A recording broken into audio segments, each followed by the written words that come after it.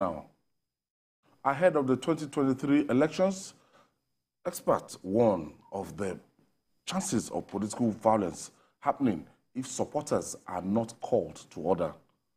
We see a glimpse of that in Lagos when some hoodlums were alleged to have attacked supporters of the presidential candidates of the Labour Party, Peter Obi, during a rally on Saturday. The attackers destroyed several buses and other vehicles, leaving many wounded and property worth millions of naira destroyed. Obi called on security agencies to protect the fundamental human rights of citizens and encourage Nigerians to shun violence. Wale, this is not good for our election. This is not the right signal. And um, we, everybody is free anywhere in the country to yeah. campaign. And what we saw yesterday, I saw the pictures mm. of uh, vehicles that were, you know, stoned and yeah. some people that they had their clothes because they were when the Labour Party yeah. um, emblem, they had their clothes turned. I think this is a very unfortunate development. We should allow the democratic space to flourish. When we are talking about democracy, it means that um, opinions should be, it's a marketplace of ideas. People should have the right to express their opinions on any issue. And they don't think resorting to violence, you know, we help anyone. However, I think the police needs to do a thorough investigation. Why I'm saying this is that is not just Lagos. it's also happening in other states. You know, in uh, Yobe State, even within the party, supporters of Lawan were said to be the one responsible for throwing stones at the state governor when he wanted to speak. And in some other parts of the country, even in, I think Ife, Ile-Ife in January, some supporters of APC were also attacked, allegedly by members of uh, PDP. So it's not just a new trend. I think, first of all, we need to caution the media, the way they report some of these issues. What happened yesterday in Lagos was not an ethnic conflict. Labour Party is not a Yoruba party, neither is APC. You have the two ethnic groups you know, in all the political parties. So what happened was a clash, you know, within two political parties. Yet, the police needs to do a thorough investigation. There have been some instances that parties will instigate violence and then blame it on others. You know, so the issue of propaganda is also there. I'm not talking about Lagos now, but in other parts of the country, people do it. Members of the same party, they will create chaos and then try to blame it, uh, blame it on the opposition. But I think what happened yesterday, we expect the police to, to, to dig deep because Lagos has always been a state where there is plurality of ideas, you know, over the past hundred years.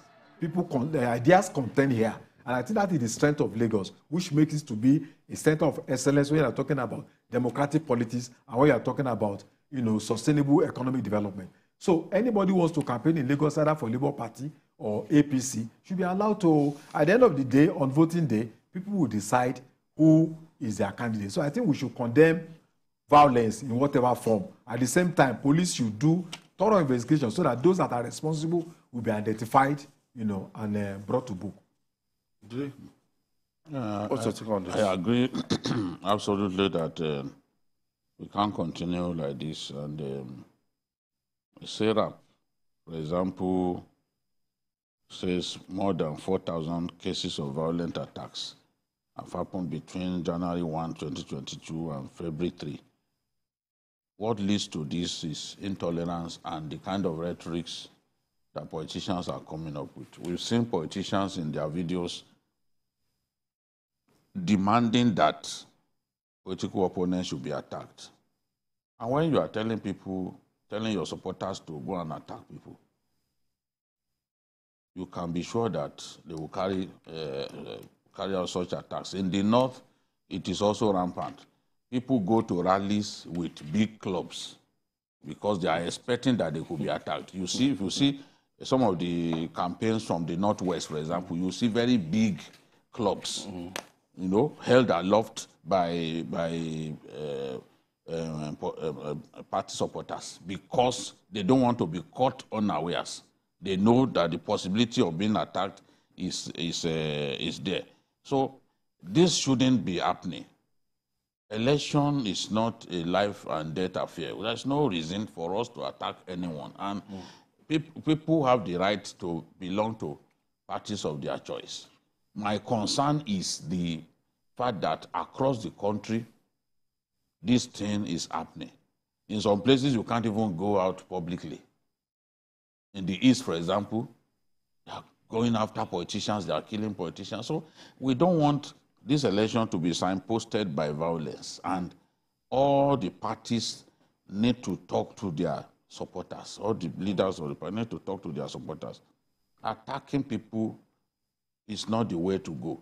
Let the elections come. Let's, let's see who will win Test the election. democracy. Yes. No, not not, not uh, beating up people, stabbing people, all in the name of, uh, of uh, intolerance. And the kind of songs that they sing about even opposition elements. Look at those guys uh, the other day who, who waxed, uh, who, who composed a song deriding Ashiwaju. Anybody that is properly bred knows that you are not supposed to ridicule elderly people to the point of even uh, composing a song that hand they shake, leg they shake. It's absolute rubbish. It's only ill-bred people who compose songs to mock people who are older than them. We know the identity. We know we know who they are, but at least people should not show uh, idiosyncrasies that portray that they, are, they, they were not well brought up. I mean, it shouldn't be happening. You can't, Okay. you can't mock elderly people in the way we are seeing them do through videos, through songs that they are composing, and these sort of things also push people to violence. Yes. Hmm. So we'll take this break.